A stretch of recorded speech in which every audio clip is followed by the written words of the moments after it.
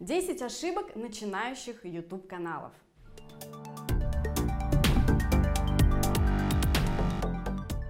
Привет! С вами на связи Юлия Измайлова, практик по продвижению онлайн и офлайн бизнеса через YouTube, основатель агентства YouTubis. В этом ролике мы с вами разберем 10 ошибок начинающих YouTube каналов, да, то есть какие ошибки делают предприниматели, когда только приходят на YouTube. Но прежде чем мы начнем, обязательно подписывайтесь на канал, нажимайте на колокольчик, чтобы не пропустить новые выпуски, а для самых быстрых в правом верхнем углу и в описании вы можете получить бесплатно пошаговый план продвижения своего бизнеса, ответив всего на 7 вопросов. Ну а мы идем дальше. Итак, какие же ошибки э, совершают начинающие предприниматели, когда э, начинают развивать бизнес на YouTube? Первое – это незнание своей целевой аудитории. То есть начинают снимать ролики для всех подряд. То есть они не понимают на ты или на вы общаться со своей аудиторией, какая у аудитории какие желания, боли, хотелки, э, что им доносить, о чем ролики вообще снимать, чтобы это было интересно, чтобы люди подписывались и э, как-то общались с вами через комментарий. То есть вот это одна из основных ошибок, почему не получается в итоге успешно развивать канал. Ошибка номер два – это гонка за подписчиками. Очень часто слышу от предпринимателей, я хочу одновременно, чтобы у меня было много подписчиков и много клиентов ко мне приходило. Это прям вот одна из э, самых основных ошибок, которые только могут быть. Почему? Сейчас объясню. На YouTube существует, в принципе, две основные стратегии, как можно продвигаться. Это когда вы хотите много подписчиков, либо много клиентов. И причем э, при развитии, например, когда вам нужно много подписчиков, вы снимаете более развлекательные видео, какие-то юмористические. И для бизнеса это часто не подходит, да, потому что по-другому снимаются видеоролики и совершенно другая стратегия развития. А когда у нас цель все-таки получать целевых клиентов, то это, скорее всего, будут контентовые ролики, полезные, обзоры, э, отзывы, информация о компании, то есть стратегия записи видеороликов и тематики роликов совершенно другие. Третья ошибка – это не цепляющие картинки и скучные видео. Почему я об этом говорю? Сейчас 50% успеха э, вообще вашего канала на YouTube очень зависит от картинок, потому что первое, что видят люди в рекомендациях или на главной странице, это картинки ваших роликов. И если картинка не зацепила, человек просто не посмотрит ваши видео. Что касается скучных видео, когда вы там говорите вот таким монотонным голосом полтора часа, никто не будет вас слушать, поймите это. Ролики нужно записывать эмоционально, чтобы донести действительно ценность информации, которую вы хотите передать. Ошибка номер четыре – это нет стратегии и системности. О чем я здесь говорю? Для YouTube очень важно, чтобы ролики выходили в определенные дни и в определенное время. И когда вы это делаете постоянно, то YouTube работает на ваш бизнес как снежный ком. То есть он постоянно набирает обороты. Первые два месяца, возможно, там будут минимальные результаты, если вы начинаете с нуля. Но вот начиная там с третьего, четвертого, пятого, вы уже увидите действительно ту самую мощь YouTube. Поэтому, если уж вы начали выкладывать ролики там три раза в неделю и делаете это в одно и то же время, то и продолжайте это делать, потому как э, за это время, там за два месяца, YouTube только привыкает к тому, что вы действительно даете полезный контент, что идут комментарии, и он начинает вас продвигать.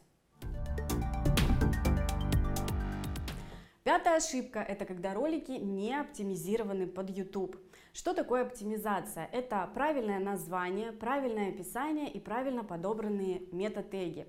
То есть, когда вы не ставите теги и не делаете описание к видео, то ролики ваши ну, практически не ранжируются YouTube, потому как робот проходится именно по ключевым словам, и когда он понимает, о чем ваш ролик, он может выдать конкретному человеку с данными интересами э, ваши видео. Ну а когда оптимизации нет, соответственно, минимум просмотров, и люди просто не узнают о ваших видео. Ошибка номер шесть – это нет призывов к действию. То есть э, вы записали ролик, дали какой-то полезный, действительно ценный контент, но забыли сказать своему зрителю о том, чтобы он поставил лайк или написал комментарий, или же, э, может быть, выполнил такое действие, как переход на сайт, где он может получить больше информации.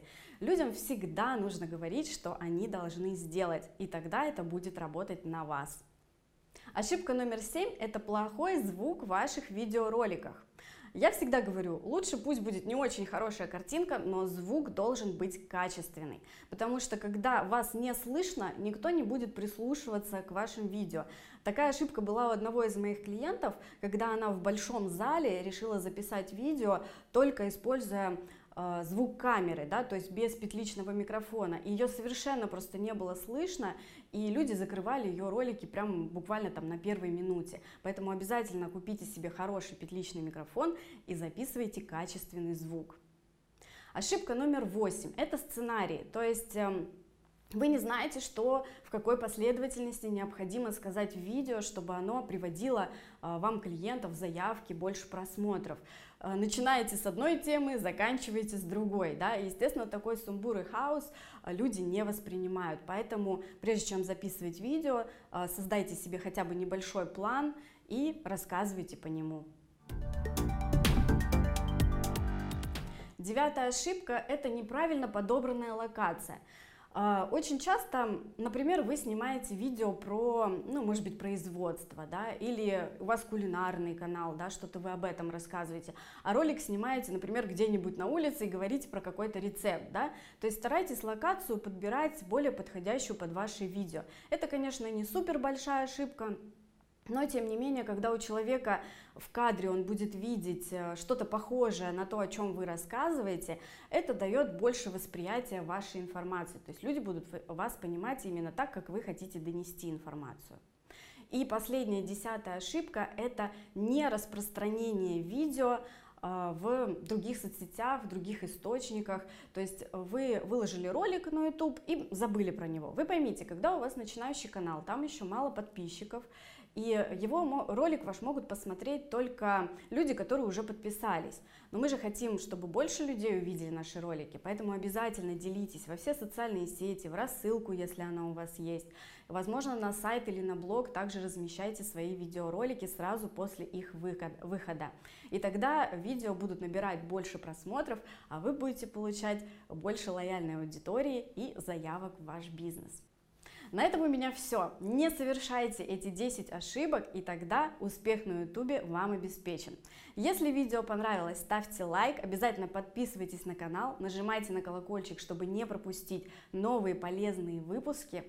А также прямо сейчас вы можете забрать пошаговый план продвижения своего бизнеса на YouTube, если перейдете по ссылке, которую видите на экране или в описании. И смотрите другие полезные ролики на моем канале. С вами была Юлия Измайлова. До встречи. Пока.